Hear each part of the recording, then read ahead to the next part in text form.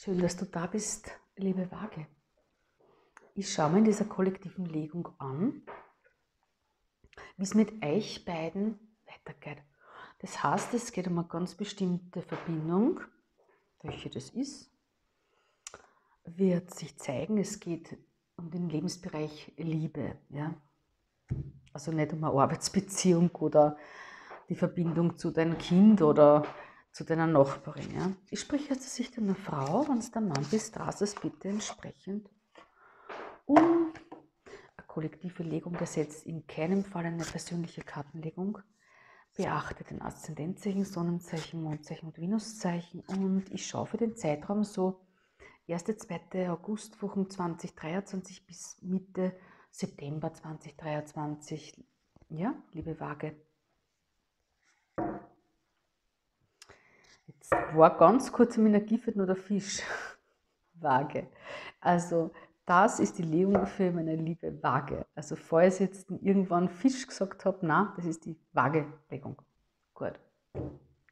Okay. Ähm, schau, ob du dich da wieder findest. Liebe Waage. Waage, Waage, Waage. Dein Gegenüber.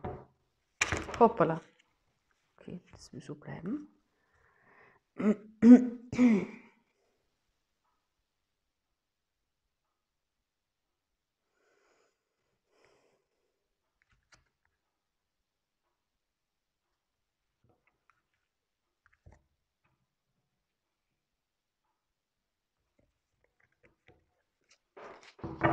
Was hat er denn dein Gegenüber zu sagen? Das ist immer die erste Botschaft, die du kriegst. Und dann schaue wirklich nur in eicher Situation ein und dann weißt du ganz genau, ob du da mit dabei bist. Ja? Waage.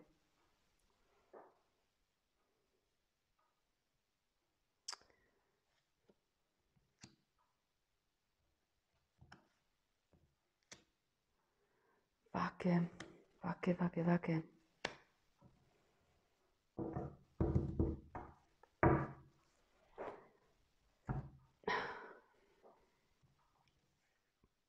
Die sind auf Englisch die Karten. Ich übersetze es, ja, nach dem Sinn, nicht jetzt Wort für Wort. Hm. Als erstes sticht mir die.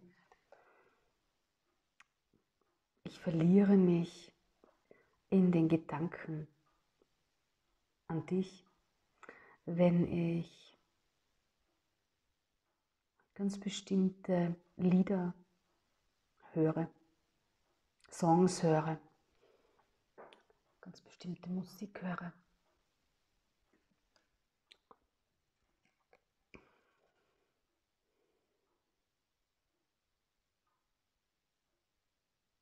Ich bin mir unsicher in mir drinnen. Ich weiß nicht, ob ich dich glücklich machen kann, ob ich dich wirklich glücklich machen kann. Und, liebe Waage,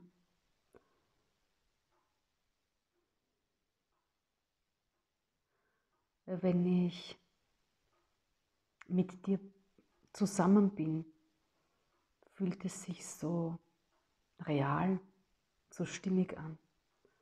Ich habe Angst, zu tief zu fallen im Sinne von diese Gefühlstiefe mit dir, ja, weil es, so eine Tiefe hat. Hm. Deep heißt diese Karte. Naja, Unsicherheit, aber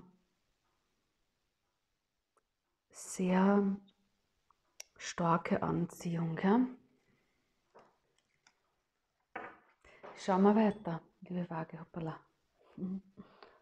So, okay. Jetzt war. Was darfst du denn wissen, liebe Waage? Übrigens zum Thema Liebe habe ich eine Podcast-Reihe äh, erstellt. Die ist schon ein bisschen älter, aber ich habe es jetzt wieder ähm, also hochgeladen und zur Verfügung gestellt. In dem Fall auf äh, Vimeo.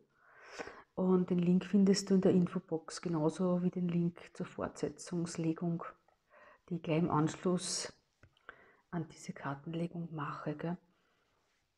Schau da einfach auch von dieser Podcast-Reihe den Trailer an. Der dauert ein paar Minuten und da wird genau beschrieben, was du in der Podcast-Reihe, um was da geht eigentlich. Ja? Thema Liebesbeziehungen, aber lass dich nicht, also es ist nicht jetzt rein nur das Partnerschaftliche ausschließlich, sondern da geht es um ganz, ganz viel ähm, Schattierungen ja? der Liebe und Themen der Liebe. Ja? Dauert ein paar Stunden, diese Podcast-Reihe, sehr ausführlich. Gut.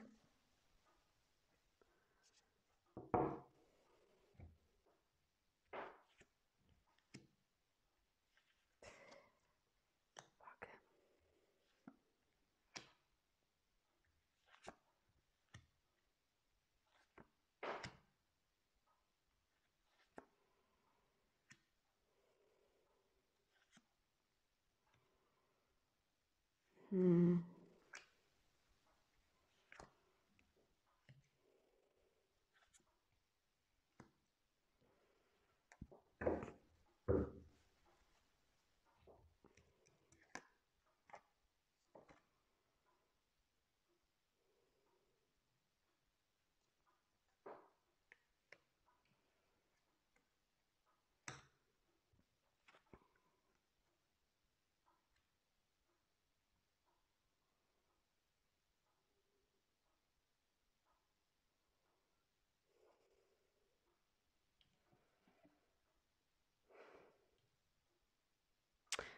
Waage. Da geht es um eine Verbindung, entweder sogar eine Ehe, Partnerschaft oder wirklich eine eheähnliche Verbindung, beziehungsweise eine Verbindung, also wenn du sagst, ähm, ich habe keine Partnerschaft gelebt oder so, ja, dann ist es so eine Gefühls- starke Verbindung, wo es wirklich auch Aussicht auf, auf Partnerschaft hatte. Ich sage hatte, weil die vier Schwerter liegen und da ist ein Stillstand, da ist Pause. Ja, also wenn du da resonierst, liebe Waage, ist Pause. Vier Schwerter. Da ist äh, kein Kontakt mit euch. Ich lege auf eure Verbindung. Ja. Und da ist irrsinnig viel Gefühl da. Und da liegt schon der Kandidat, der König der Münzen, liebe Waage. Und das Arbeit in den Unbewussten, das ist da nicht wurscht. Was arbeiten da?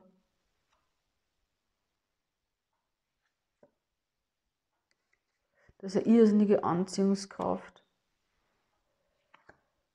Oh, und äh, dort wirklich Liebe, Anziehungskraft.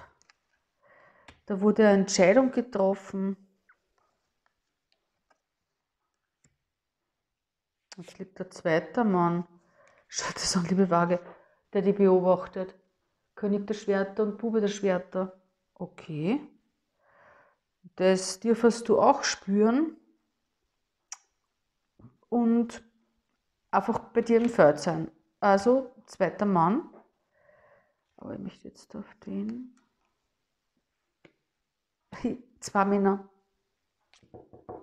Waage zwei Männer.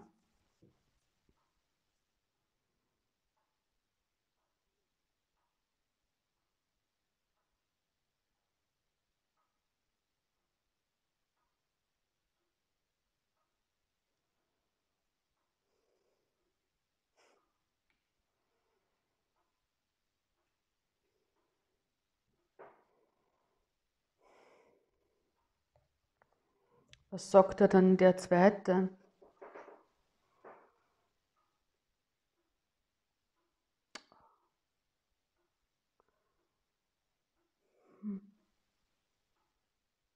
Der beobachtet die und er sagt zu dir, ich bleibe weg von dir, weil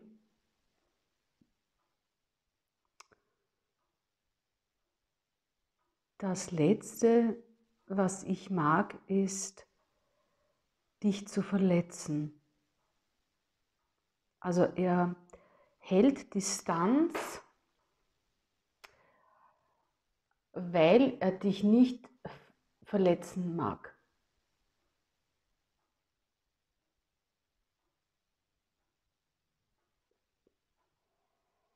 Deswegen beobachtet er dich. Okay, okay, okay, okay. Ähm, hör zu, liebe Waage, spüren dürftest du diesen Mann, ja, weil sonst lagert es nicht im, im Feld deines Unbewussten, ja. Du spürst eben eine zweite Energie, zwei Männer, ja. Ähm,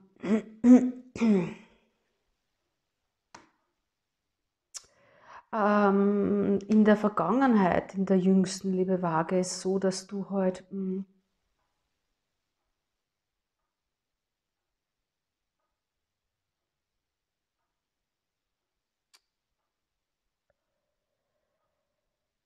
dass du eine Rückschau auf die Vergangenheit gemacht hast, in der Vergangenheit, ja und den fünften Kelchen. Und äh, was du so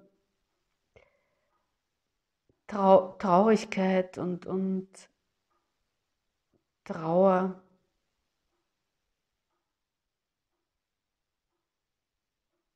gelebt hast, gefühlt hast, ja.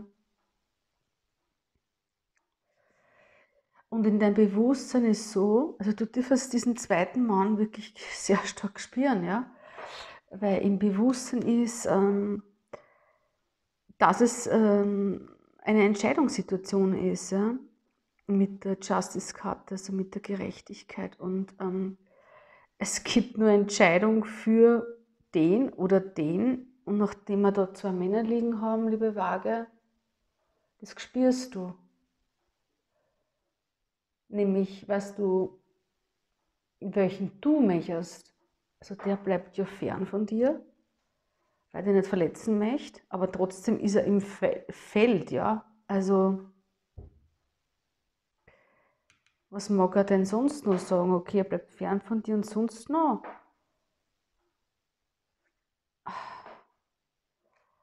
Dass er extrem viel gerade in sein Leben vor sich geht und er alles da irgendwie auf einmal schaffen möchte und muss und er total unter Druck steht. Pressure. Aber was mag er dir sagen?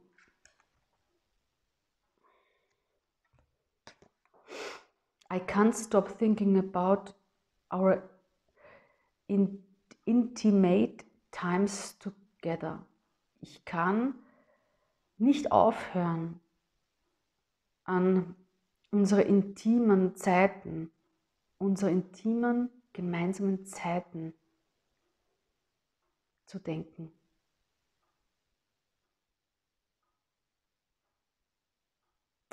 Die Karte heißt sensual, also sensibel.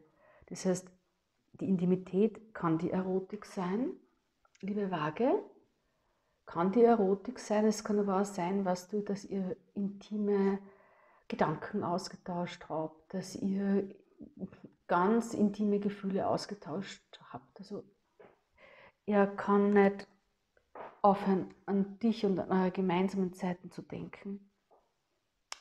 Gut, du spürst da beide.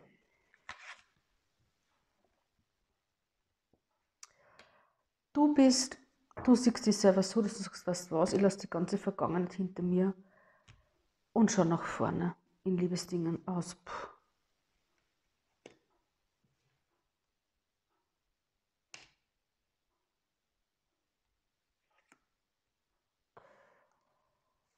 Ähm, was kommt von außen auf dich zu? Es kommt das auf dich zu, was in deinem Seelenplan steht. Also was in deinem Seelenplan ist. Und auch was du ausgehst streut hast, ausgesät hast, was du gepflanzt hast, das, also was du an Gutem gepflanzt hast, und das ist jetzt ein dritter Mann, der Magier. Der kommt auf dich zu. Der ist definitiv Single.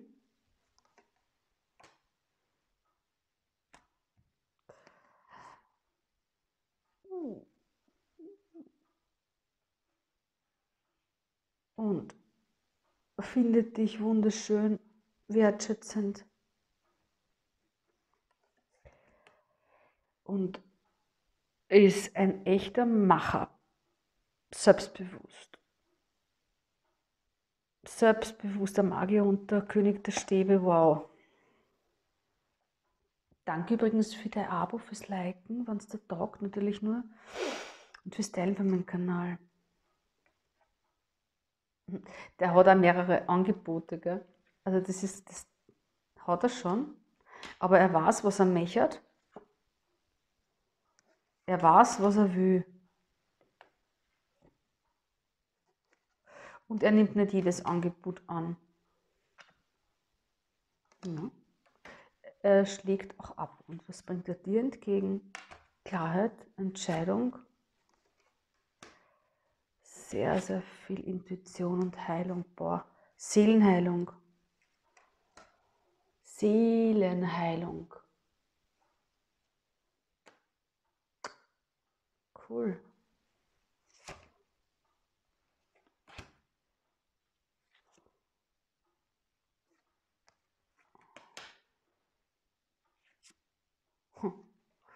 Und er verlässt diese Neutralität in sein Leben und bringt dir das Asterkelch entgegen. Gut. Uh, das ist sehr schön, liebe Waage. Das heißt, es gibt einen Mann, mit dem alles ruhig gestellt ist, einen zweiten, der an dich denkt, aber nicht auf dich zukommt. Okay? Und einen dritten, der sehr wohl auf dich zukommt das schon. Und der schaut wunderbar aus. In der Fortsetzung schaue ich mir näher an, welcher, also ob vielleicht auch der nochmal Thema wird, ja, wo du jetzt Pause ist, oder ob der andere wirklich äh, der König der Schwerter doch auf dich zukommt, oder ob ähm, der König der Stäbe ja, oder Magier, beide sind ja da aufgeschieden, es ist eine Person, äh, für dich Thema wird, ja. Fortsetzungslink in der Infobox, gell? So, die Tendenz, ja, dir geht's gut, Waage. In der genannten Zeitspanne die Herrscherin und die Neun der Kelche. Als ich gerade das wieder ein langes Reading gehabt ich kann es nicht genau sagen, liebe Waage. Ja, schau du mal aus, als die total als Herrscherin. Du siehst, wie wunderschön du bist. Du bist die Traumfrau überhaupt. Und du lernst die zurück, dir geht's gut. Emotional. Du bist wirklich umworben. Du fühlst dich extrem wohl. Das ist eine sehr passive Energie. Also du lehnst dich wirklich zurück und lässt die Dinge in Sachen Liebe auf dich zukommen. Und du weißt, dass du super bist, wunderbar bist. Dieses Bewusstsein kriegst du. Wow, Waage. Ich freue mich sehr. Wir sehen uns, wenn du möchtest, in der Fortsetzung. Spür einfach einen. Da schauen wir jetzt an, wirklich, welcher von diesen Kandidaten kristallisiert sich da raus. Sehr, sehr interessant. Und, und auch den einen oder anderen spirituellen Rat an dich. Schau mal. Gell? Und ein bisschen was Näheres von deinem Gegenüber, das sich da rauskristallisiert, wollen wir auch wissen. Liebe Waage, pass gut auf dich auf. Viel, viel Segen für dich und vielleicht ja bis gleich in der Fortsetzung. Stella.